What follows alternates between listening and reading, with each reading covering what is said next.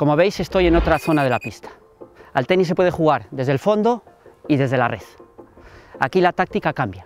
Es más agresiva, hay que jugar más al ataque, ¿eh? ganar el punto en la primera o como mucho en la segunda volea. Volear significa dar la pelota antes de que bote, interceptarla en el aire. La distancia con el contrario es menor y el tiempo también es menor, por lo tanto la técnica también cambia. Ya no son movimientos amplios como desde el fondo con terminaciones, sino más secos, más recortados.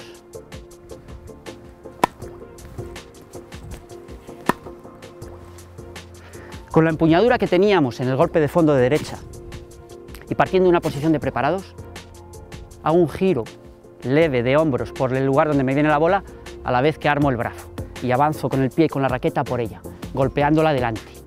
¿eh? La raqueta lleva un recorrido corto y ligeramente descendente.